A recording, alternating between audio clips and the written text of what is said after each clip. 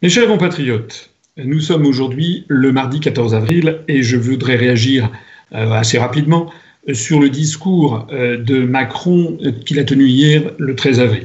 Avant tout, je voudrais aussi d'abord euh, vous souhaiter à toutes et à tous qui me regardez la meilleure santé possible, voilà, et de bien respecter les contraintes de confinement et de distanciation sociale et de faire très attention effectivement si vous en avez de porter un masque et des gants. Alors, le discours de Macron hier, personnellement, je l'ai trouvé euh, extrêmement désagréable, parce que j'ai eu le sentiment, comme je l'ai d'ailleurs à vrai dire à chaque fois que j'écoute Macron, au bout de 30 secondes, j'ai l'impression d'avoir affaire devant moi à un mélange de Tartuffe et de caméléon. Tartuffe, parce que c'est quelqu'un qui passe son temps à mentir, et cela se voit, les sentiments euh, qu'il développe sont des sentiments qui sont des faux sentiments, des sentiments euh, imités de la, de la fausse compassion. Euh, hier, il a parlé à deux reprises d'humilité, mais c'était tout sauf quelqu'un de humble. il était là en train de prendre fait et cause pour les pauvres personnes qui sont dans des appartements confinés, des petits appartements. on a l'impression qu'il voulait partager le sort des Français, etc. Ça, c'est ce qu'avait dû lui dire tel ou tel conseiller. Mais le problème, c'est que tout en lui démentait ça. Il y avait, euh, il était dans un décorum extraordinaire, celui de l'Élysée, qui a été restauré à grands frais récemment avec des ors plein les, plein les, plein les portes. Euh, il était, euh, comment dirais-je, avec un, deux ou peut-être même trois centimètres de fond de teint, ou alors il revenait d'une cabine d'UV d'ultraviolet dans un cabinet d'esthéticienne, je ne sais pas. Enfin, on avait l'impression de quelqu'un qui venait d'un séjour balnéaire à Miami, euh, voilà. Euh, tout ça, tout ça faisait, euh, faisait, faux. Ça me fait penser à ce que on lisait dans la presse récemment, que dans la presse People, comme on dit, que Brigitte Macron, paraît-il, vivrait, ça serait terrible ce qu'elle vit d'être confinée, confinée à l'Élysée. Bon, c'est bon quand il y a des centaines et des centaines de mètres carrés au palais de l'Élysée, plus un des plus grands parcs privés de tout Paris, on, évite de, dire que c'est terrible.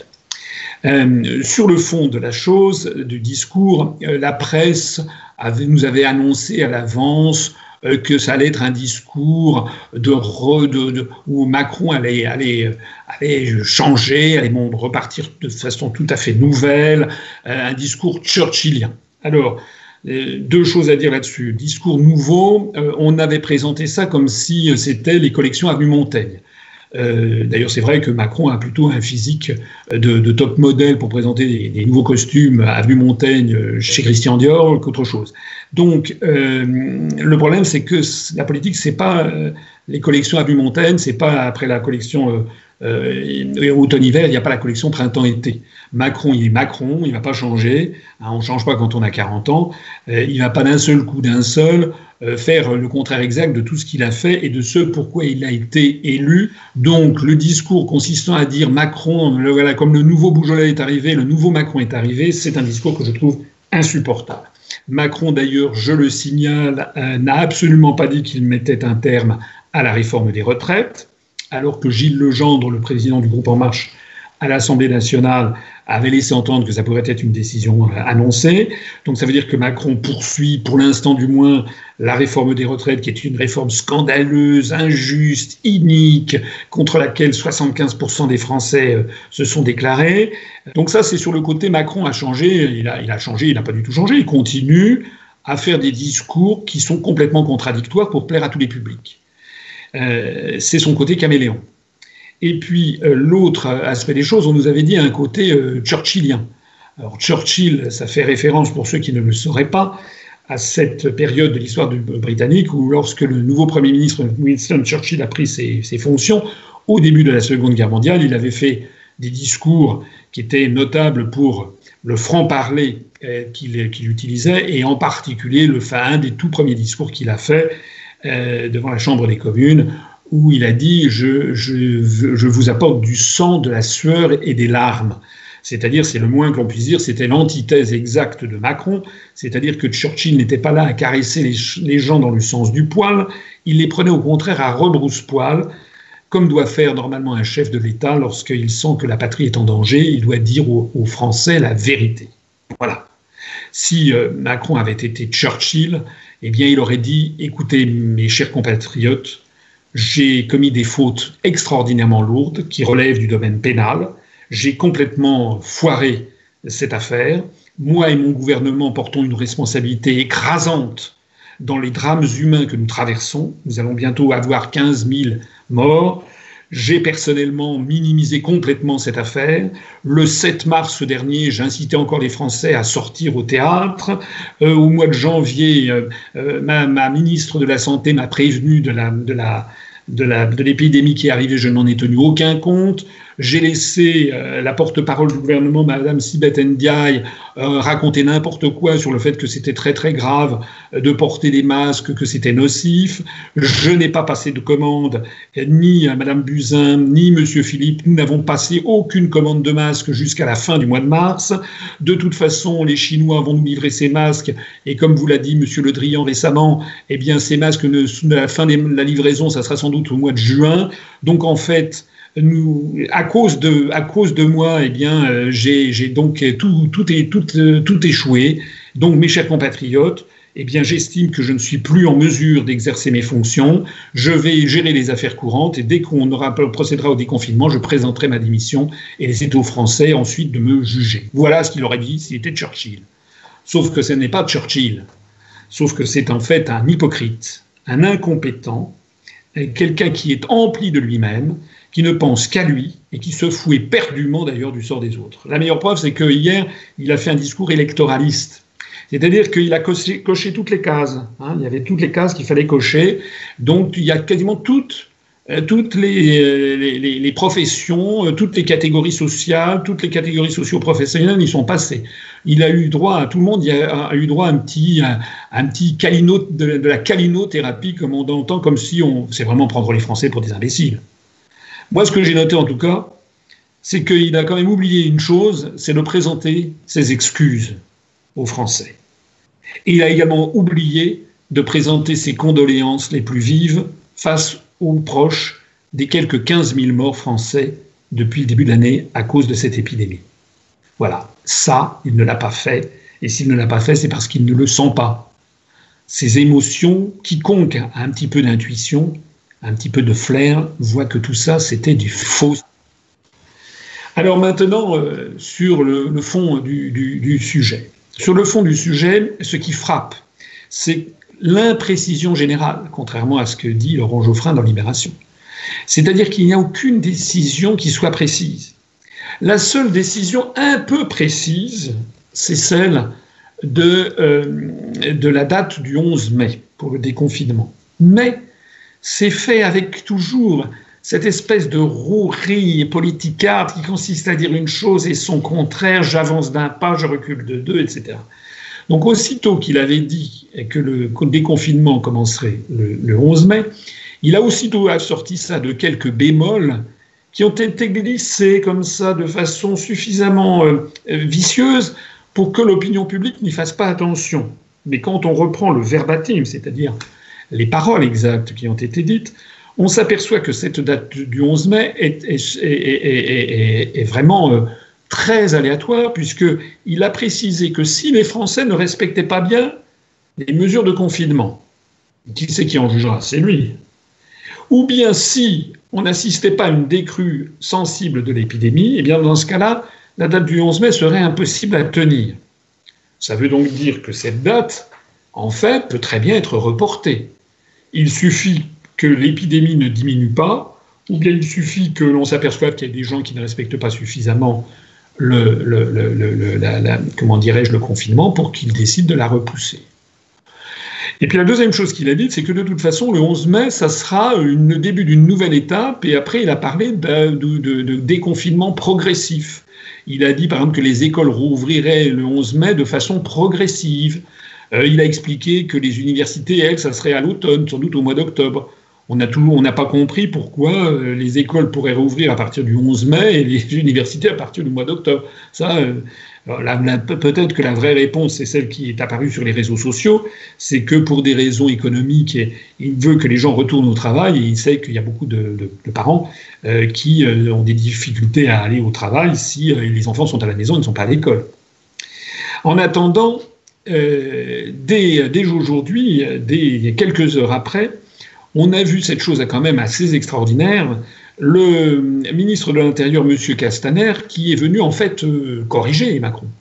Puisque comme Macron avait euh, manipulé l'opinion publique hier soir en faisant croire que c'était le 11 mai, l'opinion publique a gardé ah bah ça va, c'est bon, c'est jusqu'au 11 mai. Et Castaner, qui est ministre de l'Intérieur, qui vient aller remonter du terrain, a bien compris qu'il y a un problème. Donc le ministre de l'Intérieur, ce matin même, a dit non, non, non, il faut bien comprendre que le 11 mai, c'est un objectif, ça n'est pas une certitude. Bon, voilà, tout est dit.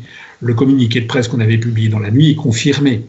De la même façon que quelques deux heures après, le ministre de l'Éducation nationale, M. Blanquer, a dit euh, mais de toute façon, toutes les écoles ne vont pas ouvrir le 11 mai, c'est simplement un début, ça va commencer à partir de ce moment-là. Donc en fait, ils sont, c'est d'ailleurs même, vous l'avez noté, quasiment systématique, à chaque fois que Macron fait un discours, euh, le lendemain ou le surlendemain, vous avez ces ministres, le Premier ministre ou deux ministres qui viennent non pas le contredire frontalement, bien sûr, mais euh, corriger, euh, corriger à la marge, puis corriger de plus en plus pour en fait vider de substance le discours de Macron. C'est à se demander d'ailleurs si Macron, quand il fait ses discours, a prévenu les membres de son gouvernement. On est dans une situation dingue. Alors il y a peut-être une explication à ça. Soit Macron a des problèmes psychiatriques, hein, c'est-à-dire qu'il dit, tout et n'importe quoi, il dit une chose et son contraire de façon permanente, c'est son, quand même son travers psychologique majeur, hein. c'est le en même temps. J'avais eu l'occasion de le signaler lors de son discours halluciné devant les armées, où il disait vraiment, il s'indignait par exemple que l'on puisse euh, vendre au privé la gestion d'un aéroport, alors que c'était lui-même qui l'avait fait, euh, et il s'indignait qu'on puisse le faire à des Chinois, c'est exactement ce qu'il avait fait. Donc euh, on, mesure ici toujours cette affaire du en même temps. Mais il y a peut-être une autre raison dans cette discordance entre le discours de Macron et le discours de ses ministres, c'est que tout ce petit monde commence à être terrorisé par la suite des événements. J'ai vu, vous l'avez peut-être vu sur Internet, qu'il y a des rapports des renseignements généraux qui sont très inquiets, très très inquiets pour la situation politique et sociale de la France après le déconfinement. Et il y a énormément de, ministres et de hauts fonctionnaires qui commencent à être très inquiets des suites judiciaires de toute cette affaire. Je lisais hier que, paraît-il, un certain nombre de ministres et de préfets maintenant n'osent plus communiquer par écrit il se passe des coups de fil, ils ont peur. Ils ont peur des, des, attaques qu'il va y avoir ensuite devant la justice du fait de l'impréparation, de la mauvaise gestion de toute cette épidémie. Et euh, de ce point de vue, il faut souligner que les ministres, eux, peuvent être traînés devant les tribunaux alors que Macron ne peut pas l'être. La seule façon dont Macron peut être traîné devant la justice, c'est uniquement par les parlementaires par la procédure de destitution prévue par l'article 68 de la Constitution, dont nous réclamons, nous, à l'UPR, la mise en œuvre depuis novembre 2018. Ça va faire un an et demi. Et maintenant, les arguments contre Macron sont devenus énormes. Donc, normalement, si justice il doit y avoir, c'est les parlementaires qui devraient ensuite lancer la procédure de destitution et la haute cour pour Macron. Mais ça n'est pas, pour des raisons politiques, ça n'est pas évident, bien entendu, que ça puisse aboutir jusqu'à la destitution. En revanche, ce qui est absolument évident, c'est qu'il va y avoir des, les, ministres, eux, qui ne relèvent pas de la même protection de la Constitution, eux vont être traînés devant la justice. Donc ça explique peut-être cette différence entre Macron, euh, qui peut se permettre de dire un petit peu tout et n'importe quoi, et puis les ministres qui sont beaucoup plus prudents. Parce que la vérité, elle oblige à dire quoi? Ce que maintenant beaucoup de gens ont fini par comprendre, c'est que c'est déraisonnable, c'est de la folie de, lancer le déconfinement maintenant, puisqu'il rien n'a changé depuis le jour finalement où il a été lancé le 16 mars. Pour que les choses aient changé, il aurait fallu que depuis le 16 mars, il y ait eu à peu près 60 à 70% de la population qui ait été contaminée, qui ait été infectée. À partir de ce moment-là, vous le savez, les, épidémiologues connaissent bien cette affaire.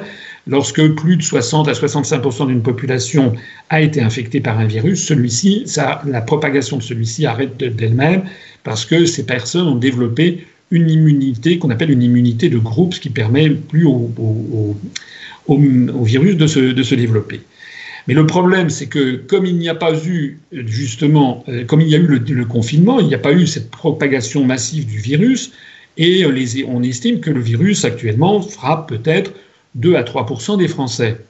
Donc si on déconfine demain, eh bien l'épidémie va reprendre de plus belle. Pour qu'il n'en soit pas ainsi, ce qu'il faudrait, c'est qu'on ait un test général de toute la population française et que l'on confine uniquement les personnes qui auraient été testées positives, qu'on les empêche de, sortir. Et puis il faudrait également que tous les Français aient des masques. Alors de ce point de vue-là, Macron a essayé de répondre à ces deux objections, mais il l'a fait d'une façon qui montre soit qu'il n'a rien compris, soit plus, précisément qu'il se, moque éperdument du monde. Sur les masques, il a osé dire que la, France était quasiment la meilleure gestion du monde, ce qui est absolument, honteux de mentir de cette, façon. Euh, je rappelle qu'on a commandé 2 milliards de masques à la Chine, euh, et d'après M. Le Drian, le ministre des Affaires étrangères, euh, les, masques finiront d'être livrés à fin juin. C'est donc un mois et demi après le 11 mai. D'ailleurs, Macron, comme il sait qu'il n'aura pas les masques, il a dit qu'il y aurait des masques grand public des masques grand public. Je ne sais pas. D'ailleurs, j'ai vu que personne ne sait ce que c'est parmi le, le, corps médical. Il y a des masques de protection, FFP2, qui sont devenus célèbres, FFP3. Euh, il y a des masques qu'on trouve en pharmacie, euh, euh, enfin que l'on trouvait. Hein. Mais des masques grand public, on ne sait pas ce que ça veut dire. Est-ce que ça veut dire que Macron estime que c'est les Français qui font comme c'est le cas dans un certain nombre de petits villages de France, où vous avez des clubs de couture avec des, personnes qui font des masques à partir de, vieilles, de, vieux tissus, de, vieux double rideaux. Enfin, on est dans une situation digne du tiers-monde. Macron n'a même pas été capable d'annoncer qu'il y aura tel masque qui vont être livrés tel jour, telle heure. Donc lorsqu'il dit qu'il va y avoir des masques, mais qui le croit encore? Qui le croit encore? Et puis la deuxième chose, à part les masques, c'est le test. Et là, Macron a dit on fera des tests pour toutes les personnes malades. Mais c'est lui qui est malade. Il est dingue. L'intérêt des tests, c'est pas de tester les gens qui sont malades, c'est de tester tout le monde pour voir parmi tout le monde en question ceux qui sont infectés. Puisque justement, la grande, le grand, l'un des grands, des, grands, des grandes difficultés que l'on rencontre avec, euh, avec le, le SRAS-CoV-2, c'est le nom, euh, le nom médical de ce coronavirus, c'est que le délai d'incubation est long. Il est beaucoup plus long que d'ordinaire. Le délai d'incubation peut, être, euh, peut aller jusqu'à 14 jours. En tout cas, pendant les 5, 6, 7 premiers jours, la grande majorité des, des, gens qui sont infectés sont des patients asymptomatiques, comme on dit, c'est-à-dire qu'il n'apparaît absolument pas qu'ils sont infectés, mais ils sont très contagieux. Donc, ce qu'il faut faire, c'est justement tester le maximum de personnes, le maximum de population. Et dès que quelqu'un est repéré comme ayant été contagieux, lui, le mettre en quarantaine. C'est ça la logique. Donc M. Macron, en fait, en disant qu'il va y avoir des tests pour les gens malades, se moque du monde et il est en train de lancer des perspectives ou de relance de l'épidémie. Donc je pense que c'est la raison pour laquelle, dès ce matin, Castaner et Blanquer euh, ont commencé à lever le carton orange ou même le carton rouge en disant non, non, non, non, le, 11 mai, attention, attention, parce que Castaner euh, et, Blanquer et Philippe et Véran et tout ce petit monde, eux, ils savent qu'ils peuvent être traînés devant les tribunaux, donc ils font plus attention. Alors, pour le reste, qu'est-ce que je peux dire pour le reste? Ben, Il y a toute une série de questions auxquelles il n'a pas répondu. Macron n'a pas parlé euh, de ce qu'allaient devenir les élections municipales. Certains diront que ce n'était pas le sujet. Ben si, c'est le sujet, puisqu'il a dit justement que les festivals ne pourraient pas avoir lieu. On a appris d'ailleurs dans la foulée que le festival d'Avignon n'aurait pas lieu. Ben, S'il s'inquiète de la tenue de certains festivals célèbres, à juste titre, a fortiori aurait dû-il euh, s'inquiéter des, des, municipales.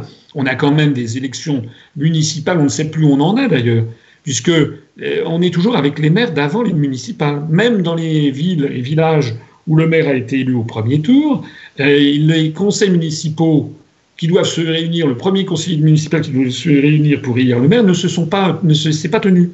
Donc on a en fait 35 000 communes de France qui sont dans un état de, de lévitation, d'apesanteur. On ne sait pas ce qu'il faut faire. Euh, il y a des maires qui ont été élus au premier tour, enfin des listes qui ont été élues au premier tour, mais le maire lui-même n'a pas été élu. Euh, et puis, euh, il y a des listes dans, toute une série, notamment dans les grandes villes, il y a énormément de villes où il y a un deuxième tour. Le deuxième tour n'a pas eu lieu. Bon, là, Macron n'a rien dit. Macron n'a rien dit sur la réforme des retraites, j'en parlais tout à l'heure.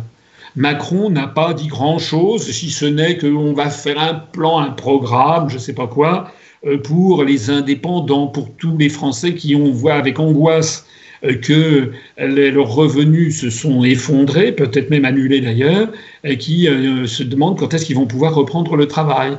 Tout ça est resté extrêmement nébuleux. Il a promis de mettre de l'argent, mais aucun chiffre d'ailleurs n'a été annoncé. Macron a également parlé des traitements, mais d'une façon en même temps. Donc il est allé voir le professeur Raoult, on ne sait pas ce qu'il en est sorti. Euh, il n'a pas dit un mot du fameux essai Discovery, le fameux essai européen, qui d'ailleurs on apprend que la parution des résultats est reportée euh, de jour en jour. Macron n'a rien dit non plus sur les manques criants euh, de respirateurs. Si, il a dit qu'il allait y avoir dans un mois, ou vous vous rendez compte, il a dit, vous vous rendez compte, dans un mois, on aura, je sais pas quoi, plus de respirateurs, mais c'est dingue. C'est dingue. D'après Madame Buzyn, il est au courant depuis le 11 janvier. Macron n'a pas dit les blues, il n'a pas parlé euh, des gants, il n'a pas parlé euh, des médicaments euh, qui sont pas seulement le traitement, mais les sédatifs ou bien les, médicaments contre la douleur. On est en manque criant de cura. Il y a un décret qui a permis aux autorités dans les hôpitaux d'avoir recours à des médicaments vétérinaires. C'est-à-dire que le médicament qu'on donnait auparavant à, je sais pas, à une vache ou à un hamster, si c'est compatible, on va pouvoir le donner à quelqu'un qui est en sédation profonde à, l'hôpital. Enfin, c'est incroyable. C'est incroyable. On a vraiment l'impression d'être tombé dans, je sais pas, moi, dans, un pays du tiers-monde en pleine, en pleine guerre. Enfin, c'est quelque chose d'effroyable. Macron aurait pu dire quand est-ce qu'il va y avoir l'arrivée des médicaments du curare et de, tous les opiacés, de tous les, euh, de tous les sédatifs? Macron aurait pu dire un mot aussi sur cette polémique concernant euh, le Rivotril, ce médicament qui est administré à des personnes très âgées et qui a fait, ça a quand même lancé une polémique, puisque certains y ont vu un moyen d'abréger les souffrances effectivement de malades condamnés, d'autres y ont vu un tri euh, assez, assez infâme des personnes que l'on va sauver et de celles qu'on ne va pas sauver. Euh, j'ai vu d'ailleurs que la presse allemande se scandalise de ce triage qui est fait en France des personnes âgées euh, qui, dont, on arrête au-delà de 70 ans, dont on ne poursuit pas le, traitement du fait, paraît-il, de manque de manque de, de matériel adéquat. On en est quand même là. Macron n'a pas prononcé euh, ces, questions. Sur les, en matière économique, Macron n'a rien dit de l'angoisse qui étreint les salariés d'Air France, par exemple, et de tous leurs sous-traitants, puisque l'on sait très bien que Air France, maintenant, perd des millions euh, d'euros par jour, euh, il n'y a plus que 10% de son trafic qui est assuré. Air France est en ce moment en négociation avec KLM pour une, recapitalisation. Macron n'a pas dit ce qu'il devait dire, c'est-à-dire qu'il devait annoncer, à mon avis, des nationalisations. Par exemple, de cette petite entreprise qui est la dernière entreprise à fabriquer des bouteilles d'oxygène, Luxfer, qui est, euh, qui il aurait pu annoncer la, nationalisation. Oui, sauf que Bruno Le Maire avait dit qu'il n'en était pas question. Donc en fait, euh, Macron n'a répondu euh, à rien des sujets sur lesquels les Français l'attendaient. Il a quand même fait quelque chose qui est peut-être, je, pense, la pire des abjections, c'est qu'il euh, a commenté, il s'est mis dans la position du commentateur ou de l'observateur. De l'observateur qui commente comme s'il n'était pour rien dans cette affaire. Voilà, il a dit, je vois un moment, il y a une phrase, il a dit un truc du style Comme vous, euh, j'ai noté que, j'ai observé qu'il manquait des masques. c'est incroyable. C'est incroyable. C'est quelqu'un qui euh, n'a pas, comment dire, il n'a pas le sens de sa, fonction. Il n'habite pas la fonction de chef de l'État. Dès qu'il y a un problème, c'est jamais de sa faute. Il renvoie toujours la responsabilité sur les autres. Il se déresponsabilise constamment. Il dit maintenant, moi j'ai constaté comme vous, vraiment ça ne va pas quoi. C'est un peu comme si on avait euh, je ne sais pas moi, Bernard Arnault qui disait, qui se scandalisait devant l'opinion publique en disant J'ai constaté quand même, ça ne va pas du tout, le prix des sacs Louis Vuitton est vraiment beaucoup trop élevé. Mais c'est lui, euh, c'est lui, Bernard Arnault, qui était à la tête de, Louis Vuitton, hein, et donc c'est lui qui sait et qui fixe les prix euh, en, dernier ressort, les, prix des sacs, des sacs avec la, direction générale de, Louis Vuitton. Donc, de la même façon, c'est absolument inadmissible qu'un président de la République ose dire j'ai constaté, comme vous, j'observe, comme s'il était extérieur. Et puis alors, il y a encore un autre élément qui, qui, est, absolument insupportable euh, chez ce personnage, euh, c'est euh, qu'il faudrait continuer à lui faire confiance. Mais on ne peut pas faire confiance à quelqu'un qui n'a aucune parole. Ça fait des semaines et des semaines qu'on annonce l'arrivée des masques. Et telle sœur Anne, on ne voit jamais rien venir. Ça fait des semaines et des semaines euh, que l'on annonce l'arrivée des respirateurs, l'arrivée du curare, l'arrivée euh, euh, des, des, gants de protection, etc., etc., on ne voit rien venir.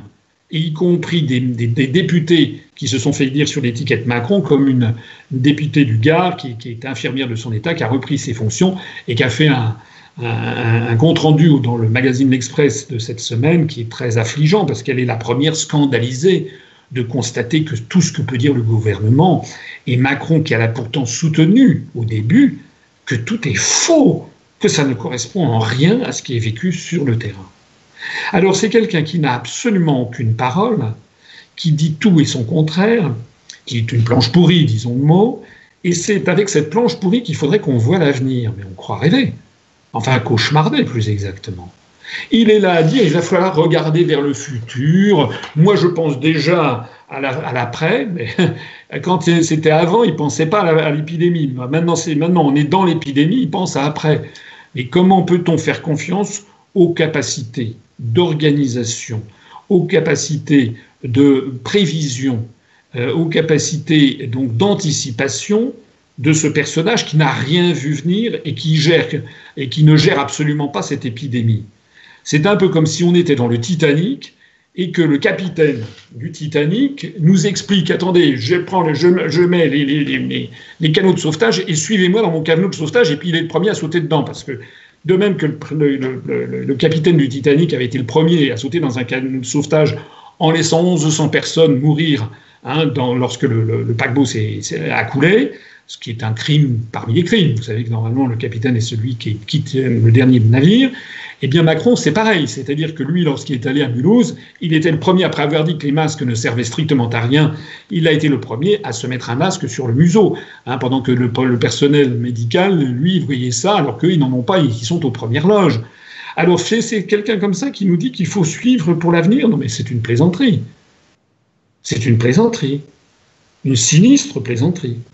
D'ailleurs, rappelez-vous, il y a une dizaine de jours, une quinzaine de jours, les gazettes s'étaient faites l'écho du fait que Macron pensait déjà, déjà à l'après, la pensée complexe de Jupiter hein, qu'on nous avait vanté.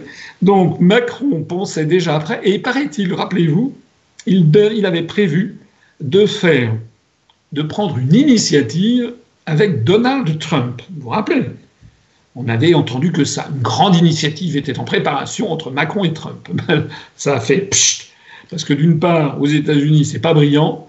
Hein, c'est devenu maintenant le foyer numéro un de l'épidémie de, coronavirus. Ça, c'est le premier point.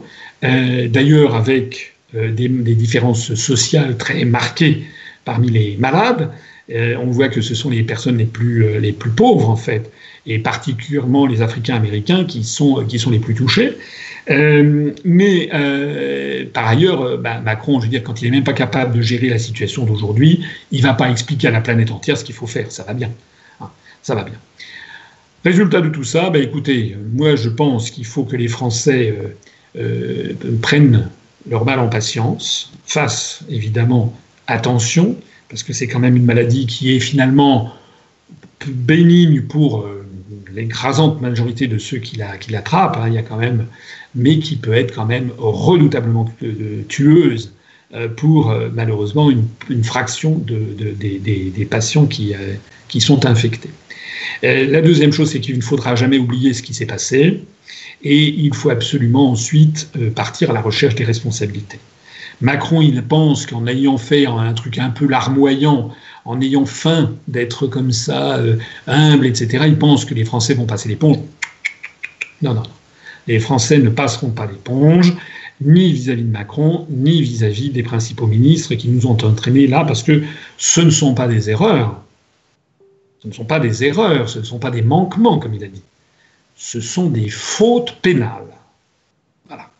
Lorsque vous mettez en, jeu la vie d'autrui, lorsque vous faites des homicides involontaires, ça relève du droit pénal. Ça n'est pas une, faute d'orthographe ou une erreur de calcul. Ça, c'est Macron veut faire passer ça comme euh, un simple petite erreur d'ajustement. Non, non, non, non. Il est responsable et coupable. Hein, parce que je dis ça, vous vous rappelez peut-être cette polémique qu'il y avait eu au moment de l'affaire du sang contaminé avec Georgina Dufoy, qui était ministre en charge et qui avait dit à l'époque qu'elle était responsable mais pas coupable. Ben, un responsable, c'est un responsable, et il doit endosser sa responsabilité. Voilà ce que je voulais dire sur ce, sur ce, sur ce discours. Monsieur Macron euh, est quelqu'un qui, euh, qui ne mérite aucune confiance. Euh, il faut considérer en haussant les épaules ce qu'il peut dire. Il faut que les Français ne comptent que sur eux-mêmes. Et puis surtout, il faut qu'ils en tirent vraiment des enseignements. Les enseignements, c'est que plus jamais, plus jamais, ils ne doivent tomber dans le panneau d'une élection présidentielle manipulée par les médias. Plus jamais.